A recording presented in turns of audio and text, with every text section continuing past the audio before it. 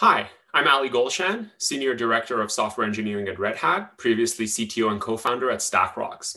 Today, we're going to be talking a little bit about supply chain security and why recently it has become such a hot topic in cloud native technologies. One of the main things that we have seen is this change and shift in the attack landscape and attack surface from traditional exploitation and vulnerability exploitation at runtime towards the supply chain. And the reason for this is, is that very simple. Um, it's the fact that on the supply chain side, there is a much more proliferated set of tools and solutions to use, and there's truly no perimeter. Combined with the fact that there's less maturity around security tooling, uh, dev teams need to con continuously communicate with security teams. There's generally less controls around tools and products. and the main goal on the developing side, on the DevOps side, on the left side, is really lowering friction, injecting velocity, and as a result, removing any blockers, which has typically been associated with security, has created this landscape where attacks are starting to grow substantially more. The other aspect of it is that Traditional attribution is substantially more difficult to apply on the supply chain side. As a result, it reduces the risk of discovery and it can actually increase the attack surface as an attacker you can go after. This is also why it's very important, and this is why at Red Hat we believe it's very important for security to be built in versus bolted on for developer tools and as part of the supply chain. Now, what are some of the things that you have to consider and be able to make sure you take into consideration as part of your supply chain security? Well, one major question is where, am I, where do my software components come from? Where am I getting my tools? Where am I getting all these particular images?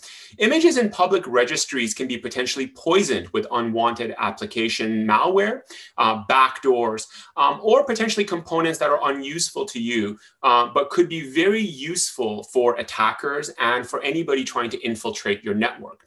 Um, in some cases, these can be detected with static tool analysis. Um, and this is why it's very important to have static analysis as part of your system. However, introducing a lot of vanilla images and ensuring that there's a large touch point to your um, potentially infected images can also ensure that the deployment of these images increases and eventually they make them into the stream of the development. The other part of it is vulnerability management and configuration management as part of the supply chain in a declarative fashion is still a substantially unsolved problem the volume of attacks is increasing dramatically, suggesting that there's more and more organized infrastructure and some targeting of which companies introduce a higher level of tooling into other companies' supply chains. Obviously, this is an example that we recently saw with the uh, SolarWinds attacks. Um, combined with the attribution we talked about and the problem that it presents on the supply chain, poisoning the well can be a substantially more lucrative way to attack businesses versus actively engaging of exploitation, exploitation of vulnerabilities at runtime. So when we talk about CVEs, even though this is an unsolved problem, there is still a lot of gaps that we need to go and figure out. So we need to pay more attention to it. Um, understanding vulnerability packages and their dependencies. Um, these typically create thousands of alerts and there's no good way to triage these. Understanding what are they actually relevant to? Which ones can be solved or upgraded? Um, if they are upgraded, what can they break? Um, which ones are actually exposed to me in runtime? time are they allowing for permissive attack surface? Um, do I have proper configurations to be able to prevent them? And more importantly, which ones are actually being exploited into the wild so I can push that information back to my engineers, to my developers to reduce that time in resolving those particular problems. Now, typically, one of the things that we have seen from supply chain attacks and general attacks on misconfigurations, um, really the way we can solve these problems through a declarative fashion, the problems have centered around mostly, for example, installing cryptocurrency miners, or establishing a footprint for distributed denial of service attacks.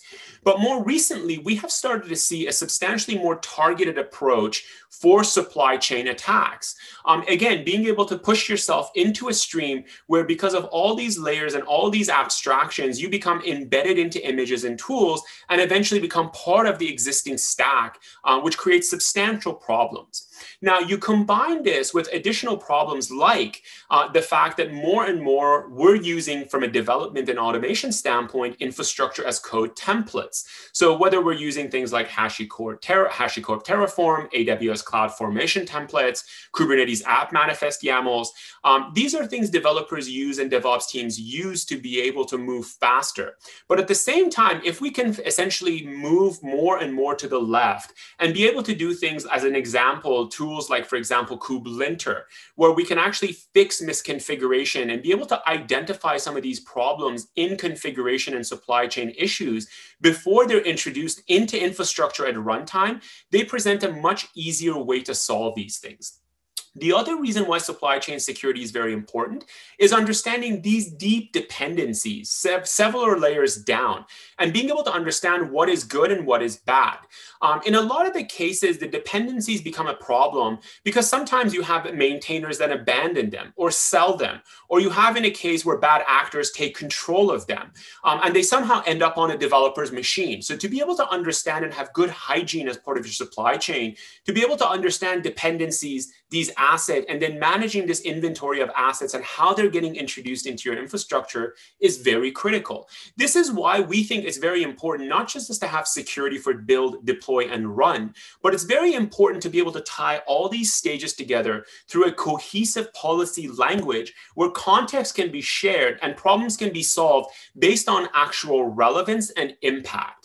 One of the other types of more recent attacks we've seen on the supply chain is actually the notions of typo squatting, which is we're starting to see a more rise towards. So as we talk more and more about infrastructure as code templates, it's very important to understand that if these misconfigurations are introduced into your infrastructure, they substantially amplify the risk that goes into your runtime infrastructure. And in a lot of cases, these become embedded in your infrastructure and very difficult to roll back. This is why you constantly now hear about this notion of shift left and why it's very important to do that. Now, we recognize at Red Hat that there is a very fine balance between velocity and flexibility for developers. Developers want to be able to choose their packages, want to be able to determine which containers they want to use, um, and being able to essentially determine how they build together their tools um, that allow them to move faster and deliver business goals. But at the same time, we want to have vetting and controls in place so we can apply compliance, whether it starts from very basic aspects of CIS benchmarks or more custom or very specific, useful custom tools um, and controls that are specific to your business and organization to be able to vet these out. The other reason as to why supply chain security becomes very important and dealing with these issues in a declarative fashion is not just the infrastructure itself, but all the new layers of tooling that are highly automating and contributing to scale for example, going from Kubernetes to Istio or general service meshes. These are all components that are highly contributing to the velocity of development. So if we do not take on this notion of shared responsibility and ensure that our supply chains are properly locked down, looking for bad indicators, and eventually solving these through configurations and declarative fashions, we end up with a runtime environment that you really don't have to think about your highest risk environment being even a vulnerability that is going to be exploited. It could be simple misconfigurations in your RBAC or even exposed APIs. And this is again where it brings us back where at Red Hat, what we are focused on is ensuring developer velocity, business moving as quickly as possible.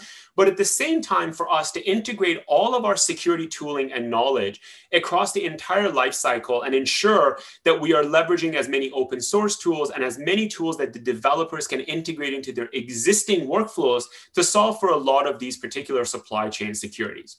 Thank you very much for your time. And if you have any questions, feel free to reach out to me.